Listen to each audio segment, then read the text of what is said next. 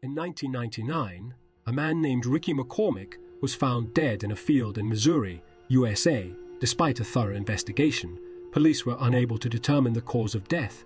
However, what they found in McCormick's pockets would prove to be one of the most baffling mysteries of all time. Inside McCormick's pockets, police found two pages of handwritten notes filled with strange symbols and codes. The notes appeared to be written in a language that no one could decipher. The FBI was called in to help, and their top cryptanalysts worked on the case for years, but they were never able to crack the code. The notes themselves were written in a combination of letters, numbers, and symbols that seemed to have no meaning. Some of the letters and symbols appeared to be variations of common shorthand, but many were completely unique and defied all attempts at translation. The FBI even went so far as to ask the public for help, releasing images of the notes in the hopes that someone, somewhere, would recognize the code and be able to provide a translation.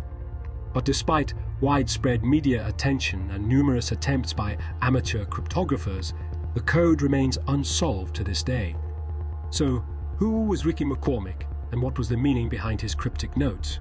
Did he create the code himself or was it given to him by someone else? Was it a message meant for someone specific or simply the musings of a troubled mind? The mystery of Ricky McCormick's notes may never be solved, but it remains one of the most intriguing unsolved cases in modern history.